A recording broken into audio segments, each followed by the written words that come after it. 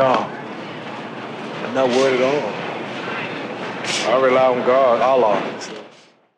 In Surah Al-Fath, Ayah 6, I want you to notice here how Allah subhanahu wa ta'ala tells us how the munafiqeen, what are their thoughts? Do they have husnul dhan billah? Do they have good expectations from Allah? What is their expectations from Allah?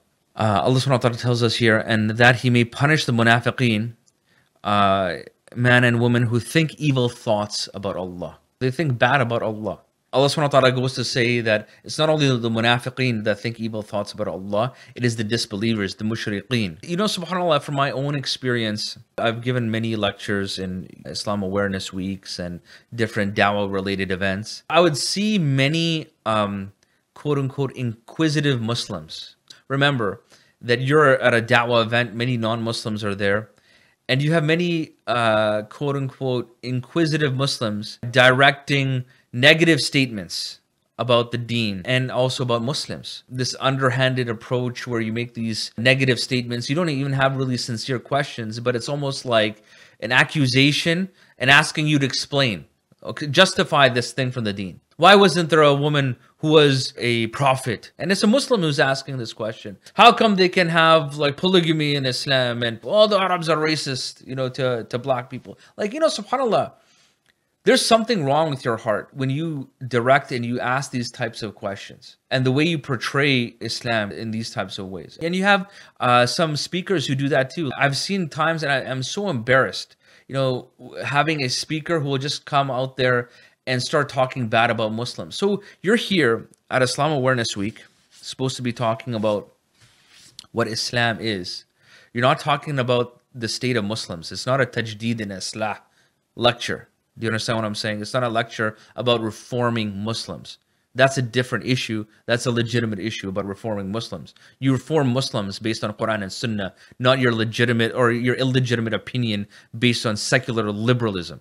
Okay, you base it upon Tawheed to reform Muslims. So you don't do it from there, but then you come across this accusatory tone in the scandalous way, trying to show, hey, you know, I'm hip, I'm cool, like, look, I'm, you know, I can call out my own community and stuff like that. You're trying too hard. There's a Canadian doctor who works with a lot of addicts overcome their addictions and things like that. He's a non-Muslim, but he encourages spirituality. That this is important for a human being to um, have a spiritual c- connection because that will help you overcome you know addiction and trauma and all of these different types of things. But one of the things that he noticed his observations was that most of the people that were addicts they had a bad outlook on god. They had a very negative perception of god uh, a really interesting dynamic to see within their psyche that on one hand they're atheists. They say they don't believe in god but on the other hand they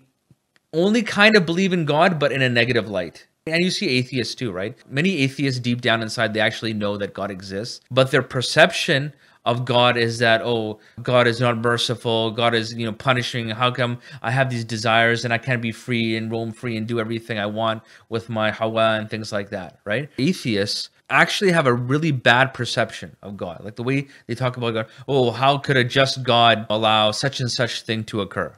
So their perception of God is really negative. Okay, it's an evil outlook. But you know, subhanAllah, Allah subhanahu wa ta'ala told us this internal thought, this internal feeling that the munafiqeen and the mushrikeen had is that they think evil thoughts about Allah. Whereas uh, Allah subhanahu wa ta'ala tells us in some of the previous ayat, in, in ayat 3 to 4, in that same surah, that Allah says, and that Allah may help you with a strong help.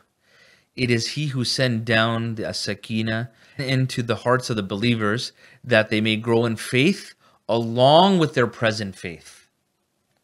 SubhanAllah, when the believers undergo any type of trial, tribulation, true believers, when they undergo this trial and tribulation, Allah subhanahu wa ta'ala, He sends them this help. What is this help? What is the help of Allah subhanahu wa ta'ala? It's this sakina, this calmness, this tranquility, this ease, this peace into their hearts. And what happens is that it will increase their faith along with the iman that's already present. So there needs to be iman already there. A manifestation of iman is that you have husnul dhun billah, that you have a good outlook, perception, expectation from Allah subhanahu wa ta'ala. You think good about Allah. You always look at the uh, blessings that Allah subhanahu wa ta'ala has given you. You always perceive every situation as a benefit for you as a believer. And you believe in the promise of Allah subhanahu wa ta'ala. Think about the Muslims today and all the different fitan that we face. You, you face fitan living here in the West, relatively in peaceful circumstances. Recently, of course, there are different incidences that have occurred that have threatened the peaceful existence of Muslims. But relatively speaking, uh, your fitna is on an ideological level. People will know more about social sciences than they know about their own aqidah. They have really no idea of the Sharia. They have no under uh, like uh, the usul of the Deen. They have no idea about like aqidah and tawheed and all of these different things. And their biggest struggle is to retrofit Islam, to take pieces of Islam to fit and please the system that's been created by the West. Essentially, their their biggest fitness to show, hey, I am a human being that deserves respect and has value, even though I look different. You know, I really think the same way as you do. It's just a different way of thinking about it. They're willing to keep changing and conceding on different uh, you know, parts of the Sharia, different parts of fiqh. They're willing to concede, continuously concede and concede and concede until there's nothing left. If you have a land, you're in charge of a land, you're a Muslim and you're in charge of a country, and you keep conceding that land, soon there's nothing left. You've given it all up. It's completely occupied. And so the same thing. You can continue to concede, concede, concede, concede until there's nothing left of your deen. There's really nothing left of your deen. Fitna for you know Muslims in countries and places that there's a lot of political turmoil there's maybe a lot more on the line and in terms of like their own safety and security and so forth and so they have all this fitna now you can retreat and continue to give up and have bad thoughts about allah or you say this is what allah and his messenger وسلم, promised us you know the muslim that's holding on to their deen say this is what allah and his messenger وسلم, promised us didn't rasul وسلم, say in a hadith that a day would come when hanging on to your deen is like hanging on to a hot coal. I'm going to hang on to that hot coal because I have husnul billah. I have a good expectation. I believe in the promise of Allah subhanahu wa ta'ala. Allah has spoken the truth. Our Rasul has spoken the truth. You you believe in that. You know, a Muslim who's fearing their safety and security, bring it on. This is what Allah and His Messenger وسلم, promised us. The test is now because the akhirah is forever. The test isn't in the akhirah, the test is now.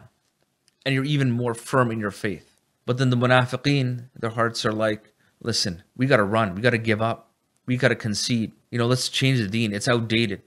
It's it's not modern. We have to modernize the deen. We need to liberalize the deen.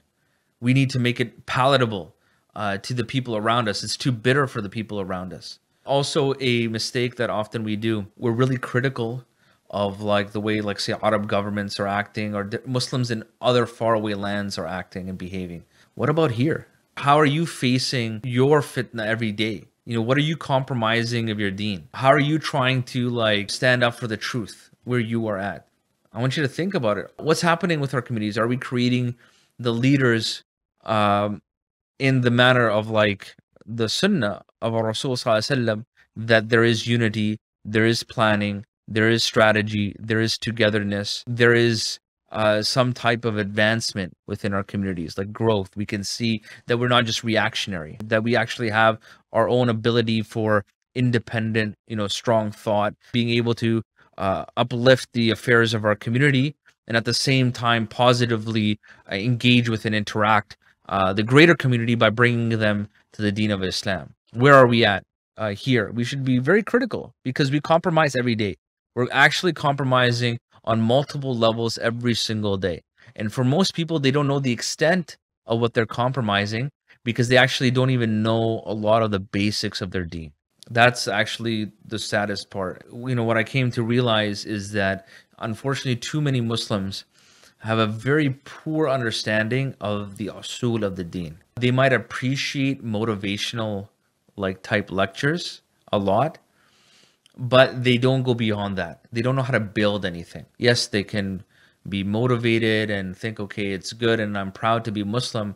Okay, what does it mean to be Muslim? And can you hold your ground when you're talking about Tawheed with just a layperson? For most people, they cannot even properly speak about Tawheed in a basic way, talk about the Sharia or talk about the fiqh of the deen or talk about the basic principles or even to talk about the evidences of the Quran and the Hadith. Like people are having a very difficult time. But oh, give me this motivational lecture that's trending with like the latest, you know, uh, topical thing within society and yeah that that person sounds wonderful. Look at this. It should be on a poster. So a motivational saying in a poster doesn't build a society okay? You need to read books.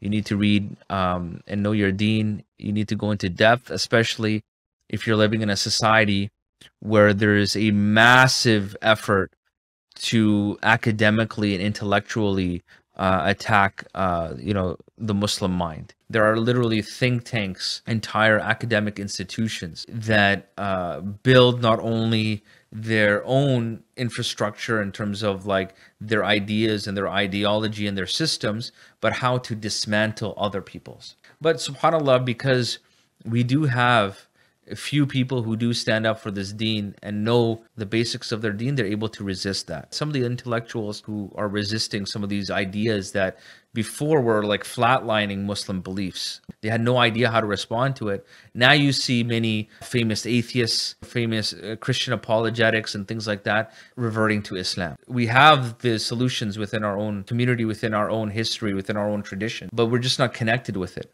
actually have the that book that uh, Ibn Taymiyyah wrote on dismantling arguments of Greek philosophers. He made those arguments hundreds of years ago, and like for people who are getting like spun around with atheist arguments, if they just took the time to read some of these classic works, they wouldn't do that. Actually, they would be very effective du'at. Khair inshallah, we'll change that.